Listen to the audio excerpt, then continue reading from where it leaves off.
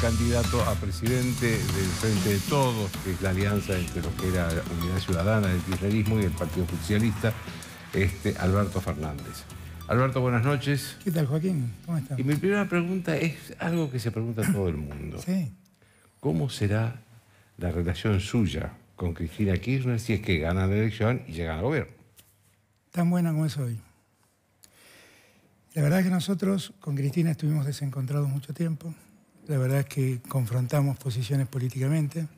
La verdad que un día entendimos que esa confrontación no tenía mucho sentido porque estábamos facilitándole mucho la situación al gobierno nacional. Nuestras divisiones favorecían el, el éxito electoral de Macri. Y la verdad es que yo le propuse a Cristina hacer un gran acuerdo entre todos para que todos volvamos a estar juntos. Y el acuerdo se fue concretando poco a poco. Claro, pero usted me está contestando en lo personal. No, no, estoy hablando en lo político. político, No, no, el presidente hablando- y el vicepresidente. Estoy hablando en lo político. Cristina en algún momento entendió que la instancia del país lo que necesitaba era una, una presidencia distinta a lo que ella podía expresar, no quería hacer, sino podía expresar, porque en una Argentina tan dividida, tan confrontativa, muchos piensan que Cristina tiene esa vocación de confrontación que yo sé que no tiene, pero que bueno, eso podía ser difícil, la Pero Los gobernabilidad. seguidores de ellos, si, si los seguidores de ella sí la tienen. Bueno, no sé quiénes son los seguidores, porque hay de todo. están por pero hay de todo, pero hay de todo, hay de todo. La, la verdad es que la Argentina no soporta más la contradicción que ha vivido en estos años. Yo fui víctima de esa contradicción, ¿eh? Jamás la alentaría. La Argentina no soporta más la división que, se- que nació en época de Cristina, pero que nadie explotó tanto como el macrismo. ¿eh? Al- Alberto, esto es una un momento importante porque usted está hablando de un tema que es fundamental, que es la grieta. Y usted sabe que hay eh, episodios en la calle. ¿Qué les dice usted como candidato a presidente a los kirchneristas que insultan o... Que la verdad no le hacen ningún favor ni a mí, A ni a, ni a mí, ni a la Argentina. Ah. Y lo mismo le digo a los otros. ¿Eh? Sí, sí, sí, yo lo- al obviamente... macrismo, obviamente a al usted- macrismo enloquecido. Obviamente a usted le digo porque usted tiene ascendiente en los, Claro, es que, es que eh, Joaquín, en la Argentina, en algún momento, la Argentina siempre tiene una historia de contradicciones entre bandos. Pero hay que reconocer que en algún momento de los años de Cristina esa contradicción se profundizó y que nadie la usó más que Macri. Macri explotó la grieta políticamente como ninguno. Ahora, eso que llaman grieta, a mí no me gusta llamarla grieta, a mí me parece que se parece más a algo más, más perverso, que es el juego de la cincha, ese juego donde cada uno tira de un lado de la soga. ¿Qué característica tiene? Sí, pero eso ha provocado odio. se ¿Qué característica tiene ese juego? Ese juego tiene una característica, que es que uno tira de un lado, el otro tira del otro, a la fuerza de uno se opone una fuerza similar, el efecto es que estamos siempre en el mismo lugar. ¿Y cuándo termina ese juego? Cuando uno arrastra al otro, lo tira y lo somete para llevarlo a su lado. La verdad que una sociedad no puede hacer ese juego, ¿eh? no soporta ese juego. La, política sociedad- no puede hacer eso. Y una sociedad, la política no lo puede promover, claramente, claramente. Y una sociedad no soporta ese juego, Joaquín. No lo soporta. Yo estoy decidido a terminar con eso. Estoy decidido. Estoy decidido a terminar con los malos tratos, con los insultos. Estoy decidido a terminar con la palabra tolerancia y convertirla en respeto. Que alguien piense distinto a mí no me, no me lleva a tolerarlo. Tolerar es un concepto horrible, porque es un concepto... Es una concesión. Es una concesión. Yo lo que tengo que hacer es respetar al otro y tenemos que respetarnos. Y yo le voy a exigir esto a los que me siguen y le voy a exigirle también a los que no me siguen que nos respetemos. Ahora, usted como presidente, ¿qué medidas concretas tomaría para hacer eso? Bueno, esto es un esfuerzo que tenemos que ejercer todos, Joaquín, francamente. Porque este juego de la grieta ha dejado gente de ambos lados. Sí, sí, sí. Y cada uno se ha parado en un lugar y cada uno tira de la, de la punta de la soga que quiere. Yo lo que digo es que esto no nos sirve, no nos sirve. Tenemos que parar los que de algún modo estamos de este lado y tenemos que parar los que están de otro lado. Pero quienes tengan el poder, o quienes tienen el poder, tienen una obligación superior a los que están abajo. Sí, obviamente, pero la- el, el primer, lo primero que tenemos que hacer es generar este discurso de conciencia entre todos nosotros. Porque este conflicto no es solamente de un espacio, es un conflicto generalizado, Joaquín. Generalizado. Yo estoy harto de soportar el juego de los trolls que viven tirando cosas para ensuciarme y eso lo hace el gobierno, no lo hace otro. ¿eh? La verdad es que eso no sirve de nada. No sirve de nada. Yo no contesto. ¿Usted tiene comprobado que eso lo hace el gobierno? Pues digo Por porque el gobierno lo desmiente. No, pero por supuesto, por supuesto, por supuesto. Pero no importa, la, la verdad es que yo ya mucho no me preocupa, porque en verdad lo que me preocupa es mirar para adelante. Me preocupa que entendamos que así nos fue muy mal, ¿eh? Nos fue horrible. Y que además todos debemos respetarnos. Simplemente respetarnos. Que no es verdad que uno, porque tiene su verdad, tiene la verdad absoluta. Tiene su verdad. Y el otro tiene otra verdad. Y tenemos que respetar. Yo creo que lo que más se ha afectado con todo este juego es la convivencia democrática. Y nosotros debemos recuperar la convivencia democrática. Ahora, eh, eso, ¿usted no reconoce que en el gobierno de Macri hubo un modo de hacer política distinto? ¿Cuál es el modo? Bueno, dialogaron con la oposición, eh, negociaron, concedieron. No, eso tiene, que ver, eso tiene que ver con una necesidad política que yo entiendo, pero yo también le quiero ser franco. ¿eh? Ahí han puesto presos a dueños de canales opositores, han presionado, hay una denuncia. ¿Pero cuál es el dueño de Cristóbal López? Pero, no está hay una denuncia, pero está por ser. Pero hay una denuncia, hay una denuncia por ser dueño de medio, se quedó con 8 mil millones de pesos de la Bueno, yo no quiero entrar en esa discusión. Pero, hay una pero no, si está hablando de Cristóbal López no es por dueño de Hay una denuncia. De medio. no, no, no. Hay una denuncia que está llevando adelante la investigación del doctor Marijuán, que yo recomiendo que usted lea, donde ahí está perfectamente contado todas las prisiones que ejercieron previamente a su detención para que ese 5N la concedan al gobierno.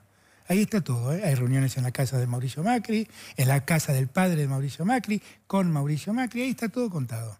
Yo le pido que preste atención a esas cosas. ¿Pero es una causa que está abierta? Absolutamente. Una denuncia reciente que se hizo en un juzgado comercial y el juzgado comercial mandó a investigar al juzgado federal. Mm. Yo le pido que esas cosas las tengamos presentes.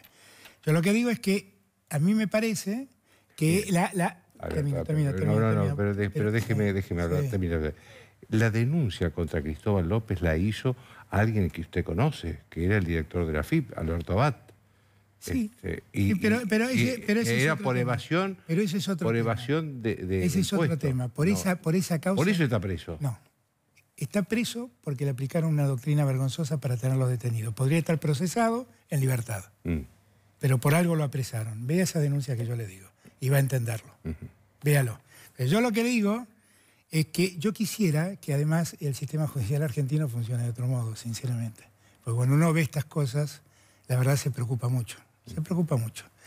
Yo, yo volviendo a su punto inicial, usted me decía, bueno, pero el gobierno ha hecho un enorme esfuerzo por cambiar las lógicas de la política. No, el gobierno tuvo que resignarse, es un gobierno de 34% de los votos y tuvo que resignarse a negociar para poder sacar leyes. Y está bien, eso así funciona la democracia, no, eso no lo voy a cuestionar, pero no es que fue su, devoción, porque también le puedo contar las leyes que, que vetó Macri, cuando no le gustaron, a pesar de que el Congreso las había dictado. Entonces, a mí me parece que yo tampoco me importa mucho discutir Macri, porque ya está, Macri es parte del pasado más reciente, pero es el pasado también. Nosotros lo que tenemos que pensar es ver qué hacemos para adelante, Joaquín. Y entonces sí entiendo su preocupación por cómo va a ser la convivencia democrática, porque es mi preocupación. Pues yo no quiero que usted se sienta mal si yo soy presidente. ¿eh? Yo quiero que usted esté tranquilo. ¿Cómo ¿eh? va a ser su relación con el periodismo? Que viene media complicada. No, no viene tan complicada. No, no, no, para nada, para nada. ¿Cuánto hace que nos conocemos mucho? Sí. ¿No? Usted sabe que yo soy muy franco. Sabe que yo soy muy honesto y que planteo las cosas honestamente y que hablamos en privado del mismo modo que hablamos en público. Y si alguna cosa me molesta, por ahí contesto francamente que me molesta. Pero eso no es una ruptura con, el buen trato con el periodismo. ¿eh? Yo respeto mucho el periodismo, lo respeto mucho. Lo que creo también es que hay, veces en que el periodismo se ejerce de un modo que para uno se vuelve medio difícil. yo, quiero serle franco, yo a Mercedes Ninzi la conozco hace muchos años. Tengo respeto por ella y sé que trabaja como todos los mobileros en condiciones difíciles. Pero la verdad es muy difícil pedirle que por favor sea un poquito condescendiente cuando sus compañeros quieren preguntar y ella atosiga con preguntas sin parar.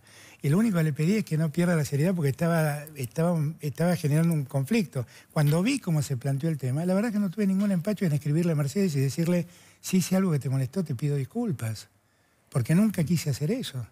Ahora, es cierto, Roberto, que los Lo de Córdoba es un episodio distinto. No, no, es un episodio distinto con lo que yo no coincido con, lo que hizo Manuel Pereira, pero ahí el derecho de expresión lo tenemos todos. Sí, por supuesto. Este, pero, pero, ah, pero, pero, pero, Joaquín, el derecho de expresión lo tenemos todos, pero un periodista no tiene derecho a llamarme mentiroso, mm. como él me trató.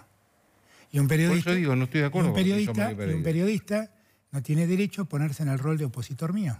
Puede no pensar como mm. yo, pero declararse opositor mío y pretender hacer una, un reportaje mm. franco es una contradicción. Dije que no Ahora, yo también... también, también le, explique algo. Los periodistas estamos precavidos y preocupados. Por lo que les pasó con Cristina. Porque ¿Y, por qué no, toman en cuenta lo que les pasó conmigo? seis años. Pero ¿por qué no, y cuando, cuando, Cristina, cuando con Cristina pasaron esas cosas, ¿de qué lado de quién estuve yo? Bueno, entonces volvamos a la primera pregunta, porque acá lo que no sabemos es quién va a gobernar. Yo voy a ser el presidente. Ah, usted va a ser el presidente. Sí, y usted me conoce. Sí, sí, sí. Y usted sabe que tengo carácter y sabe, porque muchos años me elogió cuando me le planteé a Cristina.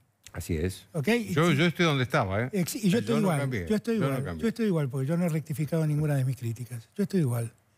Lo único que yo hago política, usted no, pero yo sí. Y la, política hoy me exige terminar con este presente. Y eso sí es una diferencia. Pero usted me conoce. Y todas las veces que usted me llamó, yo estuve. Y siempre pudimos tener un diálogo franco. Y todas las veces que me invitó acá, hace mucho que no lo hacía, pero todas las veces que me invitó, siempre estuve. Sí, pero no me lo reprocho, no, no, lo he invitado porque en 2015 cambió la política, cambió la oposición, pero está bien, no, pero no es un reproche, no es un reproche, es solamente un comentario, digo, no es que yo no quise venir en este tiempo, para nada. Usted me dijo de venir hoy y le dije en el acto que sí. Y yo encantado, lo conozco hace muchos años, lo respeto mucho, y mi respeto es exactamente el mismo. Usted no va a tener ningún problema, ningún periodista va a tener un problema en la Argentina. Porque el problema de la Argentina no es el periodismo. ¿Sabe cuál es el problema de la Argentina? La verdad que si yo me voy a dedicar a los periodistas, soy el peor de todos. El problema que tiene la Argentina es la pobreza, es la desocupación, es la marginación, es que una, una, familia para, que alquila para no ser pobre necesita ingresar 50 mil pesos mensuales mm. en su casa. Ese es mi problema. Ese es el problema que tenemos. Y es de ello lo que nos tenemos que ocupar. Cuando yo la vez pasada dije, me voy a ocupar de que solo la venganza esté presa, es porque no me pienso dedicar un segundo a mirar para atrás porque son demasiados los problemas que tenemos, Joaquín. Usted, pero usted dijo también que, va, que se van a revisar decisiones de la justicia. Mm. Yo no dije eso, eso malintencionadamente se interpretó así. Voy a decírselo una vez más, porque mm. puedo decírselo. Mm. Hoy me preguntaban en un almuerzo qué iba a hacer con la Corte. Nada, ¿qué voy a hacer con la Corte? No, bueno, pero la Corte, nada hay que hacer con la Corte. La Corte tiene cinco jueces dignos. Los tres que quedaron de la gestión nuestra y los dos nuevos. A mí me puede gustar más o menos como Rasenkrat resuelve, pero la verdad es un hombre con antecedentes académicos absolutamente incontrastables. Y a mí no me preocupa, porque yo veo sus fallos y sus fallos tienen fundamentos. Por ahí no me gustan los fundamentos, pero son fundamentos. Nada hay que hacer con la Corte, absolutamente nada. Hay que dejar que la Corte funcione, simplemente. Ahora, ha habido... ha habido que usted habló de los fallos sobre Cristina que había que, cambiar. Claro, esos no son los de la Corte, ¿no? Pero yo, yo marco esta diferencia. Así como digo que en la Corte Suprema no hay que hacer absolutamente nada, porque nada hay que cuestionarles a la conducta de esos jueces, le digo también que hay casos en la justicia federal donde la justicia ha dicho cosas increíbles. Recién hablamos del caso Cristóbal López. Yo no sé si Cristóbal López es inocente o culpable. Lo que sí le puedo decir es que en un sistema, en un Estado de Derecho que funciona a pleno, no tiene ningún motivo para llevar dos años preso. ¿eh? Ninguno, ¿eh? que las detenciones arbitrarias han sido una regla de la justicia federal. Le debe 16 mil millones con los intereses. Y bueno, yo le acabo de contar que hoy, venía escuchando por radio que una, pericia que hicieron ha reducido ese monto a 600, pero da lo mismo, porque de ver 600, 8 mil o 18 mil, da lo mismo. Aún así, son delitos absolutamente escarcelables que pueden llevarse adelante las investigaciones con la gente en libertad. Y nosotros eso fue una conquista en la democracia que preservamos. La detención solo procede cuando la culpabilidad está declarada, no cuando es presumida. Y acá hay gente que lleva años detenida con procesos abiertos y sin sentencias definitivas. Vos, debido es el otro. Hay muchos, no solamente hay muchos, hay muchos. hay muchos. pero, pero, Joaquín, esto que yo estoy reclamando, esto que yo estoy reclamando. Usted, profesor de la facultad. Claro, pero esto que yo estoy que hay este, dos causas por las cuales se justifica la prisión preventiva. Una es la posibilidad de fuga y la otra es la posibilidad de eh, eh, interrumpir la investigación o, obstaculizar la investigación. ¿Y quién ha demostrado la vocación de fuga si todos se han presentado cada vez que la justicia lo nombró, lo citó? ¿Dónde está la vocación de fugarse?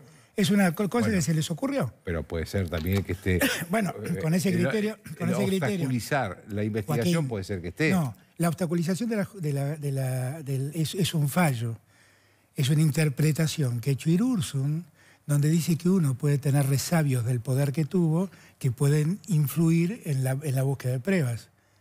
¿A usted no le parece que un año preso a una persona le tiene que haber alcanzado la justicia para buscar la prueba que hacían falta? Joaquín, por favor. Es de una arbitrariedad manifiesta. ¿Usted quiere que todos los presos estén en su casa? No, yo quiero que se haga justicia. Si a usted mañana lo denuncian y lo detienen, voy a reclamar por usted también. Yo no defiendo gente, defiendo Estado de Derecho. Y usted es un hombre que defiende el Estado de Derecho también. Defiéndalo, ¿eh? Porque lo que hacen hoy con ellos, mañana lo pueden hacer con usted. Yo no quiero que lo hagan con ellos ni con usted. A ver, pero lo están haciendo, en el caso de ellos lo están haciendo por razones de corrupción. A mí no me van a agarrar nunca por eso. Pero no, no sí. Yo lo que estoy diciendo es que cualquier causa, por la naturaleza de los delitos que se le imputan, no tiene necesidad de estar presos. Los juicios se pueden desarrollar con ellos en libertad. Ahora, Alberto, cuando usted habla de revisar los fallos judiciales, ¿a qué se refiere? Estoy hablando de lo que generalmente ocurre en una democracia. Eventualmente, porque hay infinitos planteos contra estos jueces, ¿eh? obviamente el gobierno nacional, como tiene mayoría en el Consejo de la Magistratura, los hace dormir. Pero me parece que en algún momento deberían ver alguna de esas denuncias que hay en el Consejo de la Magistratura sobre la conducta de estos jueces. Eso es lo que estoy diciendo. No estoy diciendo que el, Poder Ejecutivo Nacional sí que saque un decreto persiguiendo jueces. si estamos hablando de los jueces como Bonadío y Ercolini, este, han sido ratificados en casi todas sus resoluciones por la Cámara Federal y por la Cámara de Casación. Siempre intervienen los mismos jueces. Siempre intervienen los mismos jueces. sí, claro, porque la, no, no, no, no por nada, no, Joaquín, no. Entre otros motivos porque el gobierno de Macri vació la Cámara Federal para llenarla de jueces amigos. ¿Ok? Hablemos claramente. Hablemos claramente. ¿Usted cree que Bonadío Kercolini es amigo de, son amigos de Macri? Yo los conozco. No voy a opinar sobre eso. En el caso de Bonadío no tengo ninguna duda que es un enemigo declarado de Cristina. Es público y notorio. El único que no se enteró fue Irursun. Toda la Argentina sabe esto. Pero la verdad, quiere que le sea franco. Ercolini, eh, para mí es un, buen juez, Ercolini. Bueno, puede ser su opinión. Yo creí que lo era también hasta que vi algunos fallos y algunas cosas que dictó. Pero está bien, pero igual ese es un tema que resolverá la justicia, no es mi tema. Es un tema que resolverá la justicia. Mm. Yo como ciudadano opino.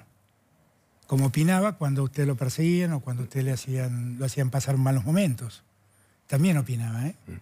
Cuando se hacían los juicios públicos en, el, la Plaza, de Mayo. cuando nos escupían en la, en yo, calle. Yo estuve del lado de ustedes siempre, ¿eh? Sí, sí. Siempre. Entonces, yo la pregunta que hago, si siempre estuve del lado de ustedes, ¿por qué piensan que lo voy a estar en contra? No, no, a ver, Alberto, Acá lo que hay que determinar es la primera pregunta, es si va a gobernar usted o va a gobernar Cristina. Y voy a gobernar yo, Joaquín. porque sabe que, usted va a llegar con el cargo elegido legítima y legalmente. Cuidado con lo que va a decir, pero los votos, puede arrepentir Pero los votos lo va a No, los votos lo vamos a tener nosotros, una fuerza política donde cada uno tiene un rol que cumplir. Lo vamos a tener nosotros. los votos de Cristina, el gabinete. Los votos de Cristina no alcanzaban. Hicieron falta que sumemos a todos para que podamos estar en esta situación todos somos parte de este eventual triunfo. No es Cristina, todos. Cristina tiene un gran aporte, sin ninguna duda. ¿Usted cree que Cristina cambió? Sí, definitivamente. Si no, no estaría hablando así. Pero a los 66 años es difícil que se cambie. No, no, porque a uno le tocan vivir cosas y a veces uno percibe cosas y se da cuenta de, cosas mm. que a uno le toca vivir. Mm. Usted no revisa todos sus días, todos los días lo que le pasó el día anterior. Sí, pero como uno es, no se cambia fundamentalmente. capaz usted tenga más dificultades que Cristina que cambiar. Ah, Cristina ha cambiado. Y gracias a Dios ha cambiado para bien. Eh, Alberto, ¿qué políticas distintas de Cristina haría usted? ¿En lo económico, en lo político, en lo Pero yo no, la verdad es que mi referencia no es Cristina. Mi referencia es el presente. Pero que Cristina en la, en la fórmula. Y déjela, pero déjela. pero Cristina tuvo su, época de presidente y ya lo resolvió, Joaquín. ¿Por qué me mete con Cristina? usted se metió con Cristina. No, no, no, Joaquín, no es así, Joaquín. De verdad se lo digo. La verdad que honestamente nos conocemos hace mucho y me llama la atención estas preguntas, pero yo se las voy a contestar, yo se las voy a contestar. Joaquín, en algún momento llegamos a la conclusión de que yo era para el presidente de la Argentina la mejor opción. Lo hablamos con Cristina y decidimos hacerlo. Cristina es una dirigente política de mucha magnitud en la Argentina, de gran magnitud. Y la verdad es que es alguien que quiere colaborar a sacar a la Argentina de este tema. Y la verdad es que yo no sabe lo que celebro que me ayude a hacerlo. Bueno, pero, por eso lo que yo le pregunto es qué haría distinto tomando el gobierno de Cristina como referencia y muchas cosas, Y muchas cosas, Joaquín. Si yo estuve en contra de muchas de las cosas que hizo Cristina. Por ejemplo, la política económica. Que ahí ¿Usted vino- piensa que los- yo voy a poner el cepo? Seriamente, después de todo lo No, que no, no, critiqué. pero el vi que últimamente lo- los economistas suyos se estaban peleando entre ellos. Este, Nielsen con No, no, esa es una Kicillof, pelea de este, economistas. por Es una pelea de economistas que data de un conflicto del año 2013, no importa. Eh. Digo, este, pero eso es un, un conflicto de académicos economistas, no es un problema mío. No estamos, nadie está peleando, nadie está peleando. Y además Axel es candidato a gobernador, no es candidato a ministro, ¿eh? Es candidato a gobernador. Na- Nadie está peleando, nadie está discutiendo. Eso es lo que quieren presentar algunos medios y algunos comunicadores. Eso no es verdad. Bueno, Nielsen usted lo consultaba. Lo consulto. Lo consulta. Bueno, Y está fue trabajando conmigo. Él fue el que dijo en un reportaje grabado. Sí, sí, que, Que- que era un ignorante. que- sí, sí, se equivocó, ignorante. se equivocó mucho. ¿Usted cree que eso es una manipulación del periodismo? No, es un error de Nielsen. Ah. Sí, claro. Por eso le pregunto, ¿qué haría usted como político económico? Usted me dice que su prioridad va a ser resolver los problemas económicos, sobre todo de la gente. Y yo veo que la Argentina, con Macri o con usted, después del 10 de diciembre, va a tener problemas. Y claro, Este, todo lo que va a dejar Macri. Claro. Bueno, Sí, y todo lo- dígalo, dígalo, dígalo, porque hay... no, y todo así. lo que en su momento también. No, no, no, no, no, no, no. Este. Todo lo que dejó Macri, no, no. Dígalo y seamos justos, Joaquín. Seamos Pero justos. es que no me puede hacer decir la mitad de la verdad. porque la mitad de la, La verdad, verdad, es que- es- es- la quiere que de partemos la verdad. Mire, Cristina dejó tres problemas en la Argentina, en la economía argentina. El cepo, la inflación y el déficit fiscal. Bueno, no es poco, ¿eh? Ok, revisemos. El cepo, ¿cómo lo resolvió Macri? Lo levantó. Irresponsablemente el primer año tuvo 40 puntos de inflación. ¿Cómo resolvió la demanda de dólares que el cepo evitaba? Empezó a tomar deuda. ¿Cómo terminamos? Como la soga al cuello. Endeudado el 95% del PBI. Cristina le dejó 25 puntos, 26 puntos de inflación, dicho por el, el- Sí, el un promedio de Congreso, el 2% PC mensual, de por ciento No, mensual. Ok. ¿Cuánto estamos? En 55. ¿Qué tiene que ver Cristina en esto? A ver, Cristina le dejó un punto 8, en algún caso, en otro caso tres puntos, según usted lo toma, de déficit fiscal. Un punto 8 es lo que dice el INDEC este, ¿eh? no yo, el INDEC actual. Tenemos más de 6 puntos de déficit fiscal. 6 puntos, Joaquín. ¿La culpa de Cristina? Joaquín, por Pero- favor, si pero- seamos serios. el, el gobierno acaba, acaba de decir que el déficit es- ha cumplido la meta del- con el Fondo Monetario. Déficit primario. Pero Ah. el déficit fiscal no es el déficit Ah, bueno, porque tiene que pagar la, la- la deuda. Claro, pero yo le estoy diciendo que Cristina tenía un punto 8 de déficit fiscal, no déficit primario. Y yo protestaba. Seis puntos y medio no va a dejar Macri. Ahora, eh, usted me Pero usted no ve nada, no- no- ¿usted se dio cuenta de lo que pasó? No, se dio usted- cuenta. no, le pregunto, ¿usted se dio cuenta usted, o usted me, usted me confunde porque la mayoría de los economistas dicen acá en este programa que Cristina dejó un déficit de 7 puntos. Eso no es lo que dice el INDEC de Macri, que además hizo correcciones sobre las cuentas públicas. No es lo que dicen. Bueno, está bien. Con esa, con esa herencia, que yo creo que es parte de la herencia de Cristina Macri y parte de los errores de Macri. Su, su, su Es muy, muy concesivo con Macri, porque que es parte de sus errores, Sí, es sí. parte de una política desastrosa que generó este caos, Bueno, Joaquín. pero, ¿qué va a hacer para cambiar eso? Todo, todo va a ser distinto. Absolutamente. Bueno, pero por ejemplo, ¿vamos a ir a un cepo o no? Obviamente que no, No. pero si lo critiqué, ¿por qué me pregunta? Con el Fondo Monetario. ¿Cómo La con el fondo? con la relación, ¿cómo va a ser? Y va a ser con la misma que tuvimos en el 2004. Nosotros no recuperamos la relación con el fondo y le terminamos pagando. El que no le puede pagar es Macri. Y el fondo lo sabe, por eso hizo el informe que hizo. Y además hablaron conmigo. Saben mejor que nadie que Macri Lo no dice, puede- lo dice el informe del fondo. Y además me dijeron, ellos saben mejor que nadie que Macri no puede pagarlo. Ninguno a poder pagar. La Argentina no puede pagarlo por las condiciones que dejó Macri, Joaquín. Pero la dejó Macri. No me eche la culpa a mí, ¿eh? La dejó Macri. Yo no hice nada, Joaquín. Lo hizo Macri. Eso es lo que hay que asumir, Joaquín. Entonces, lo que digo es, vamos a tener un serio problema, pero hay que resolverlos. Pero si ya resolvimos los problemas en el 2003, o no los resolvimos. Sí, ¿No eran problemas que- muy parecidos, Joaquín? Pero creo, creo que en ese momento había un viento de cola que ahora no está. Y bueno, tendremos que extremar la inteligencia como la extremamos entonces. Acuérdense que en esa época la soja llegó a Mire, 600 déjeme, dólares déjeme- déjeme contarle no. algo, déjeme contarle algo.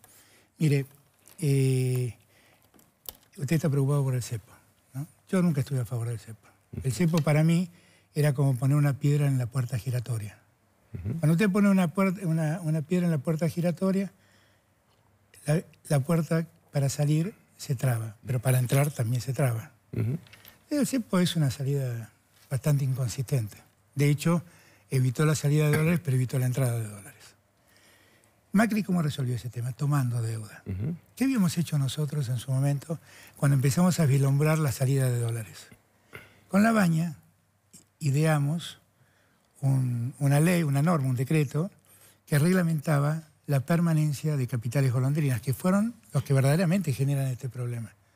Este problema que tenemos no lo genera el argentino que compra dólares para irse de viaje, lo genera centralmente un sistema que favorece el juego de los capitales golondrinas, de la bicicleta financiera o del carry trade, como le dicen ahora. ¿Qué hicimos nosotros? Reglamentamos el funcionamiento de estos, de estos eh, eh, inversiones. Y dijimos, cuando vienen estas inversiones se tienen que quedar un año, un 30% tienen que ir a los bancos, con el 70% hagan lo que quieran, y a mí me permitían controlar cómo se estaban moviendo para que no me desequilibren el tema. Esa norma que impulsó la baña, ¿a quién se la copiamos? ¿A Venezuela, a Cuba? Se la copiamos a Chile. Esa norma hasta cuándo funcionó? Hasta que llegó Duhovne y la levantó. Y aquí vivimos el estropicio que vivimos. No hacía falta ni el cepo ni, ni la, locura de pedir dólares. ¿Usted cómo no le reconoce nada bueno a Macri? Seguramente sí, qué sé yo. Me parece que, me parece que, que las estadísticas se hayan vuelto a funcionar está bien, porque el país las necesita. Las obras públicas, por ejemplo. bueno, la obra pública, debo confesarle que está, según me cuentan los gobernadores, está bastante discriminada. Los gobernadores me cuentan que ellos tuvieron que terminar un montón de obra pública que Macri dejó sin hacer, porque se ocupó de hacerlas en la provincia de Buenos Aires y dejó al resto del país sin hacer obra pública. Está bien, igual que, ¿cuál, es la pregunta? Si, que hizo obra pública... Y no, que se hizo bastante obra pública. Sí, no es lo que dicen, no es lo que, dicen, no es lo que dicen en el interior. Yo no recorro el país, pero por lo que dice el gobierno que ha hecho, ha terminado, ha inaugurado. Lo que dice, el gobierno es eso. Este, no es lo que dicen los gobernadores. Dígame, en materia de política exterior, sí. Eh, Macri obviamente que está en un, acercamiento muy importante con Estados Unidos, está el acuerdo con la Unión Europea, del Mercosur. ¿Qué haría usted con respecto de eso? Porque ¿Quién, yo empezó el acuerdo? ¿Quién empezó el acuerdo con la Unión Europea? se empezó creo que en el año 94. No, 2006. No, no, bueno, pero... En el 2006 nosotros hicimos el primer... No, no, no, empezó, empezó en el... No, Joaquín, en el 2007 hicimos la primera reunión en Viena. Que 20 en el 2000, no, en el 94 se, empezó a, plantear el tema, pero ah. la primera reunión activa se hizo en el año 2004-2005, o 2006 creo que fue, mm. en Viena. Y fuimos nosotros. ¿Quién puede estar en contra de eso? Integrar mercados. Usted estuvo en contra. No, la primera declaración que, que hizo fue que estaba en contra. No. Yo estoy en contra de lo que están proponiendo, mm. que es otra cosa. La globalización es un hecho irreversible. No tiene mucho sentido discutirla, Joaquín. Lo que sí podemos discutir es cómo hacerla. Lo podemos hacer con inteligencia para favorecer a los nuestros o podemos hacerlo alocadamente. La verdad es que estamos discutiendo algo que no existe, porque el, acuerdo con la Unión Europea no existe. No, porque tiene que aprobarse por todos no, porque además lo único que se aprobó es la apertura de dos años de negociación por delante. Bueno, discutiremos. Si me toca ser presidente, cuidaré que los acuerdos sean en favor de la Argentina. El lo que inicialmente se, se supo no parece ser eso, porque me parece que no se ha tenido en cuenta un montón de zonas sensibles de la economía argentina que se descuidaron en la, lógica de apertura para promover dentro del debate de estos dos próximos años. Yo no tengo un problema con la apertura. Tengo un problema si la apertura se lleva puesta a la Argentina. Ahí sí tengo un problema. Es la misma preocupación que tiene Trump. ¿Y usted cree que esto...? Es la misma preocupación que tiene Trump. Sí, sí, ¿eh? claro. ¿Usted cree que, esto que ¿eh? se firmó es... Este, se lleva puesta la Argentina esto que, se firmó, esto, que se firmó fue otra mentira de Macri. Mm. No fue un acuerdo con la Unión Europea. Fue el comienzo de una negociación de dos ah, Si yo lo vi al presidente de la Comisión Europea, ya, Juncker eh, anunciar el acuerdo. El comienzo de las negociaciones de dos años. No, no, él habló del acuerdo. No, no el comienzo de negociaciones de dos años. Son dos años donde tenemos que negociar qué va a quedar del acuerdo. Y está bien, bienvenido sea. Si lo podemos lograr, bienvenido sea. Y si le sirve a la Argentina, bienvenido sea. Simplemente. Ahora, hay que tener en cuenta todo, ¿eh? Hay que tener en cuenta la industria automotriz, hay que tener en cuenta las economías regionales. ¿Qué vamos a hacer? ¿Vamos a abrir la oliva de España y vamos a destruir la, la producción olivara argentina? Son todas cosas que estoy planteando así como a juego de, Déjeme, de, tirar ideas. contésteme lo, lo- lo último que le pedí y, ahí, y lo desocupo, que es el tema de Estados Unidos. ¿Qué relación tendría usted con un gobierno de Trump que es un gobierno difícil? Es que corresponde con un país como Estados Unidos. Con Estados Unidos hay que convivir, simplemente. Y hay que respetarse, simplemente. Si nosotros vivimos con Bush, ¿cómo no vamos a poder convivir con Trump también? Esas son ficciones que ustedes crean, de, de miedos que crean los analistas, Joaquín. Y la verdad, no digo ustedes, no correspondía, los analistas. Y no es razonable. Yo no dije nada. ¿eh? No, por eso, por eso me corregí, por eso me Mm. corregí. Los analistas, los analistas. Entonces, lo que digo es que tenemos que tener con, con Estados Unidos la relación que tiene un país maduro con otro, con otro país, que es nada más y nada menos que la primera potencia del mundo, Joaquín. Es simplemente eso. Es simplemente Eh, ¿Le eso. puedo pedir- hacer una última pregunta, ya que estamos hablando de política exterior? Sí, Deme una definición de qué piensa usted de lo que está pasando en Venezuela. estoy muy preocupado. Mm. Estoy muy preocupado porque hace mucho tiempo vengo planteando que el gobierno de Venezuela tiene un sesgo autoritario, que ese sesgo autoritario ha generado un enorme problema institucional Y y un enorme problema humanitario. Y la verdad que tengo una enorme preocupación, pero debo confesar que mi preocupación creció cuando vi el informe de Bachelet, porque yo la conozco a Michelle Bachelet. Y Michelle Bachelet reveló, reveló una serie de datos que yo no conocía y que definitivamente me preocuparon mucho. Dicho esto, creo que la salida no es correr detrás de Trump y los Marines. No, porque, eso, que no. porque eso es promover una guerra civil en Venezuela. Pero tanto, tampoco ponerse al lado de Maduro. ¿eh? No, la solución es hacer lo que te propuso dignamente Uruguay, dignamente México. Es generar un canal de diálogo que se abra y que ponga institucionalidad y recupere la convivencia democrática y saque a Venezuela de la crisis humanitaria en la que está hoy. Le agradezco mucho, Alberto. No, gracias, muchas gracias, Joaquín. Una pausa.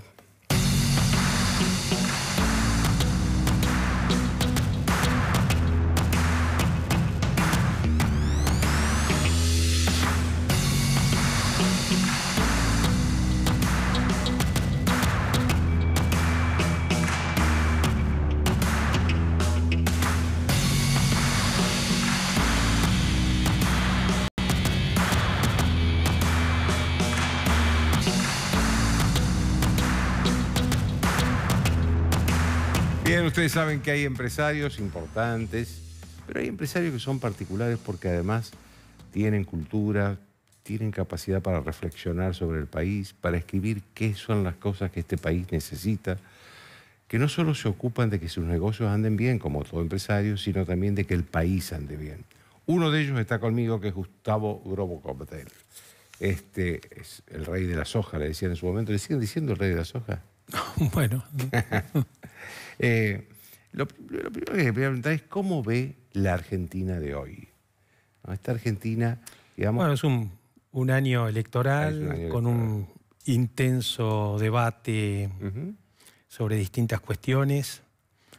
Creo que el debate iba más eh, sobre estas cuestiones más chicas y me alegré mucho con lo de mm, el anuncio del, acuerdo de Unión Europea y Mercosur porque coloca en el debate temas que son más estratégicos, más importantes y también últimamente se han empezado a colocar a raíz de esto los otros temas que vienen arrastrados por esta decisión, que tiene que ver con eh, cómo Argentina va a crecer, cuáles son las reformas que hay que hacer.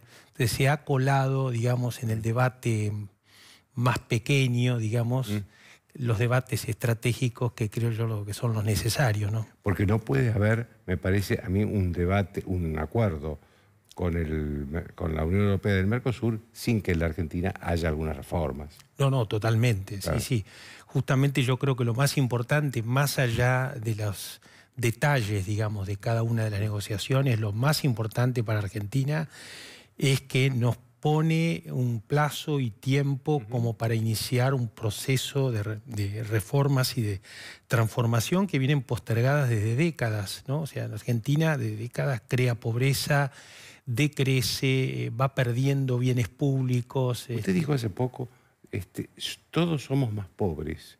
Sí. ¿Se refería o sea, a la coyuntura de este año que fue malo, del año de los últimos dos años, o se no, refería al en general. proceso histórico? El proceso histórico, sí, claro. Basta con compararse, digamos, los empresarios nos comparamos con empresarios de los países vecinos, bueno, ni hablar de Brasil, pero también de Colombia, de Perú, de Chile, y cada vez hay menos empresarios argentinos relevantes en relación a estos países. Mm. Dígame, usted, el próximo gobierno, que puede ser o Alberto Fernández, que recién estuvo acá, o puede ser Mauricio Macri reelegido, eh, ¿en qué, en qué, cosas debería concentrarse en el primer momento y como cosas urgentes? A mí me parece que hay que hacer varias cosas en simultáneo. El principal problema que tiene Argentina es que no crece y tiene que crecer. Digamos, este, yo creo que cualquier. Hace mucho tiempo. No hace mucho tiempo. Y ese es un gran problema porque cualquier tipo de, reformas que haya que hacer en un periodo de no crecimiento son más dolorosas. Y al mismo tiempo no hay crecimiento si no hay reformas. Entonces, las reformas y el crecimiento son dos partes de una tensión que hay que jugar en el próximo periodo. Este, ese crecimiento tiene algunas derivadas en algunos sectores, en algunos otros sectores eh, tiene que ver con el crecimiento, pero también con el tema de eh, los sectores sensibles y cómo esos sectores sensibles se van a ir transformando en el tiempo. Y por otro lado, todo un conjunto de reformas que sabemos que son fundamentales para que Argentina pueda eh, entrar en el siglo XXI. Es decir, sabemos que hay un problema fiscal, sabemos que hay un problema de la calidad del Estado, el tema de la, reforma jubilatoria, el tema de la reforma, digamos, vinculada con el empleo, digamos. Una reforma con el empleo, todo el mundo me pregunta, cuando digo eso la gente se asusta, ¿no? Pero no es una reforma para perder derechos o tener menos salario. Simplemente es una reforma para poder crear empleo en el siglo XXI. O sea, de nada sirve que un trabajador tenga derechos muy buenos en una empresa que se funde. Claro. Entonces, este, me parece que son todos esos debates que hay que dar, mm, eh, debates y acciones concretas que hay que dar en el conjunto de la sociedad. Eh, la Argentina ha vivido en los últimos dos años, año y medio, una situación de crisis bastante importante. Este, ¿Usted cree que eso se debió a factores internacionales, climáticos, o que también el gobierno de Macri cometió errores? Yo creo que, digamos, los problemas de los últimos cuatro años en la economía, que, digamos, ha sido la parte débil, digamos, del gobierno de Macri, tiene como tres orígenes, ¿no? Eh, una es la herencia, otro es el contexto internacional y otra es la propia, digamos, errores que haya cometido durante la gestión del gobierno. Y cada uno, de acuerdo a sus ideas, su análisis y demás, puede decir qué porcentaje, los porcentajes pueden ser diferentes. Pero hay un, tema que es el contexto internacional que se solaya, que a mí me parece que es muy importante. Sobre todo con la llegada de Trump. Con la llegada de Trump, el aumento de las tasas y, digamos, la reversión de los flujos desde países emergentes nuevamente hacia Estados Unidos y hacia lugares más seguros, yo creo que eh, aceleró muchísimo esta crisis y si los flujos hubiesen venido para Argentina, muy pocos flujos hubiesen venido para Argentina, quizá esto se hubiese, eh, digamos, este, salido adelante de una manera un poco más transitoria. También estamos los que en algún momento decíamos de, sobre si había que hacerlo tan gradual o no tan gradual, o qué dosis de gradualismo tenía que tener. Yo creo que ahí también se cometieron errores. Pero bueno, me parece a mí que, fueron desde el punto de vista de la economía, eh, nadie puede estar conforme. Yo creo que si le pregunta a Macri tampoco mm. debe estar conforme él. Hay otras partes o otras cosas del gobierno que yo creo que sí fueron hechas y, es importante tenerlas en cuenta para que ya sea Macri o sea eh, eh, Alberto Fernández sean sostenidas en el tiempo, porque si no parecería como que todo está mal, ¿no? Pero los temas de seguridad, los temas de obra pública, a mí me parece que son temas que debería darle, se deberían darle continuidad, ¿no? Y bueno, el vínculo de Argentina con el mundo. ¿Usted cree que Macri necesita o merece una segunda oportunidad? Em, yo eh, soy, eh, tengo un dilema, porque soy estructuralmente contrario a todas las reelecciones, aún la de mi equipo de fútbol o de... Mm. No sé, yo he estado en instituciones donde no me he reelegido por una cuestión de principios. Yo creo que, que, en el sistema, cuando hay posibilidad de reelección, la gente trabaja para la reelección y no para... Es así. Es así. Entonces, prefiero un sistema de cinco o seis años sin reelección, mm. eh, más en estos países como el nuestro, donde institucionalmente eh, hay mayor debilidad. ¿no es cierto? Dicho esto, eh, eh, yo creo que, digamos, el, gobierno kirchnerista estuvo durante 12 años en el poder. Y dentro de esos 12 años, más allá que tuvo un primer periodo eh, positivo, por los motivos también que sea, puede ser por el viento de cola, por el contexto internacional, por lo que sea, se fue deteriorando eso desde mi punto de vista por una mala gestión de lo público. Este, me parece a mí que eh, darle a Macri eh, cuatro años más de oportunidad eh, y, frente a las opciones que hay es lo mejor que podría pasar. ¿Por qué pienso eso? Porque primero estuve con Macri personalmente cuando fue a la India y lo vi consciente de los problemas que tiene Argentina. fue en febrero de este año. Claro.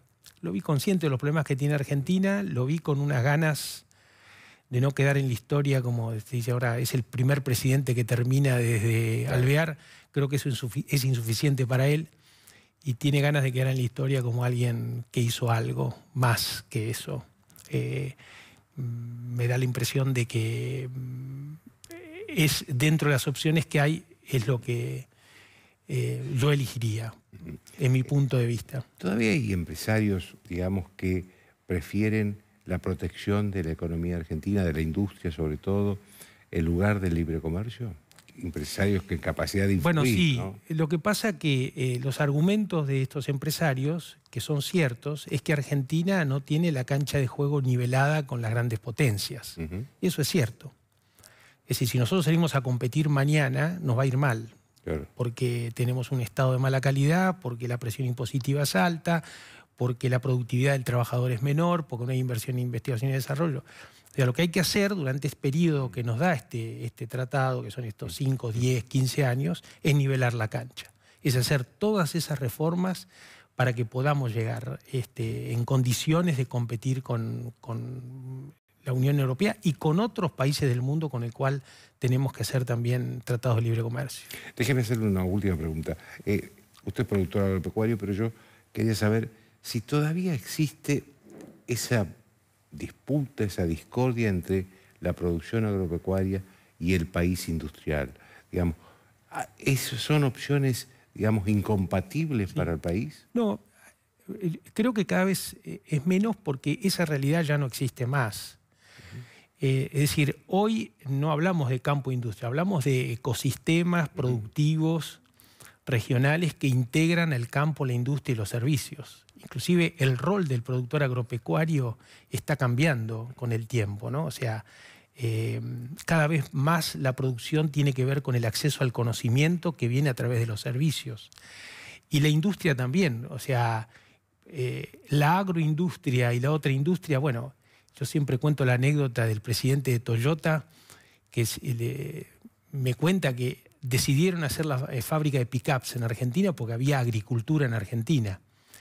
Entonces, eh, van a comprar las pickups. son hijas de la soja, por decirlo de alguna manera. Entonces, eh, cuando uno habla de los ecosistemas, tiene una capacidad de entendimiento mucho más amplia, más sistémica sobre cómo es el problema del desarrollo. El problema del desarrollo no es campo industrial, el problema es tenemos que ser competitivos en muchos segmentos, la mayor posible de la economía, tratar de que esos ecosistemas sean lo más amplios e inclusivos posible, tenemos que integrarnos al mundo para generar flujos de ida y de vuelta. Ese es el, eh, el debate, digamos, del crecimiento y cómo crecer hacia adelante. Y no hay predeterminación de quién gana o quién pierde. Digamos, el, este, el tema de ganar o perder, que tiene que ver con Schumpeter, que tiene que ver con Manuel Castells, o sea, sociólogos, este, economistas, que hablan de la destrucción creativa y demás, va a estar más vinculado con el esfuerzo que haga cada uno desde el sector privado, el sector público, que eh, con una predeterminación este, por, causa de un convenio como el, con el de la Unión Europea. Muchas gracias, Gustavo. ¿eh? Gracias a vos. Una pausa.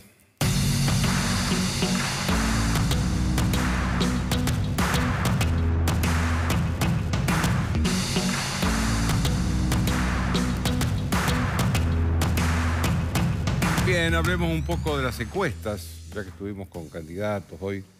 Eh, A ver, hay un promedio de 10 encuestadoras, 11 encuestadoras que le dan a la oposición, es decir, a la fórmula Alberto Fernández Cristina Kirchner, una ventaja de 3, 4 puntos para las pasos. ¿eh? Estamos hablando de las pasos que se van a realizar el 11 de agosto dentro de 20 días. Eh, después viene la primera vuelta, que es el último domingo de octubre, y después viene, si no hay, hay un ganador, la segunda vuelta, que es el último domingo de noviembre. Eh, a ver, lo primero que hay que decir sobre esto que debe tenerse en cuenta es que la fórmula Alberto Fernández, Cristina Kirchner, eh, a esa fórmula no le saca nadie votos. ellos tienen todo lo que pueden tener, ya lo tienen. A la fórmula Mauricio Macri, Miguel Ángel Pichetto, le sacan, le sacan votos algunos candidatos que andan ahí, digamos, en un tercer, cuarto, quinto lugar, con mucha diferencia con respecto a los dos primeros. Estoy hablando de Roberto Labaña, de José Luis Esper, de Juan Gómez Centurión. ¿sí? Ellos le sacan sobre todo votos a Macri. En el caso de Labaña, no todos los votos de Labaña son de Macri, pero sí la mayoría de los votos son de Labaña, de Macri. Entonces, votos eventualmente de Macri, obviamente. Eh, entonces, ahí hay un reacomodamiento de votos que perjudica a Macri en las PASO y beneficia a Cristina, porque Cristina, al revés del 2015, ustedes se recordarán que en el 2015 estaba Massa de candidato y a Scioli lo perjudicó mucho eh, la presencia de Massa, que le sacó casi un 20% de los votos. Al revés de esa situación, ahora no hay un candidato peronista que le, esté sacando votos a, la fórmula Fernández-Kirchner. Eh, pero sí hay eh, candidatos moderados, digamos, que le sacan votos que eventualmente podrían ser de Macri. Las, pasos no eligen a nadie, salvo por supuesto que haya una interna.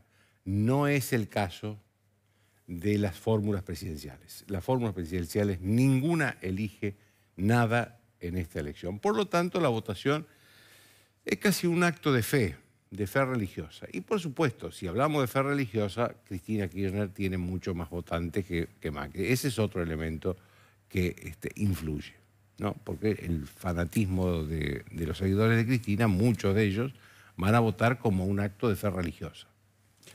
Eh, Ahora, recordemos lo que pasó en 2015. En 2015, en las pasos, Daniel Scioli le ganó a Mauricio Macri por ocho puntos.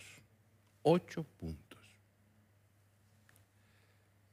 Posiblemente la gente se asustó, la gente creía que Macri podía hacer mejor papel, y, pero en la primera vuelta de octubre esa diferencia a favor de Scioli se redujo de ocho puntos a menos de tres puntos. 2,8, una cosa así. Por supuesto que todo el mundo vio eso como un triunfo de Macri, que le permitió ganar en la segunda vuelta de noviembre. Ganó la presidencia. Eh, entonces digo, no todo está, digamos, este, no las pasos de agosto no son necesariamente un pronóstico seguro de lo que va a pasar. Al contrario, sirven para reacomodar los votos, porque muchos digamos, que votan en agosto por uno u otro candidato que sale tercero, cuarto, quinto, dicen, no, yo voy a usar mi voto para que sea útil y se van a votar por Macri o por Cristina o por Alberto, por el que, que fuere. Pero en ese escenario también es Macri el que puede ganar más que, que, Alberto Fernández Cristina. ¿Por qué? Porque Alberto tiene más votos desperdigados en las pasos que Alberto Fernández Cristina Kirchner. Chau, hasta lunes.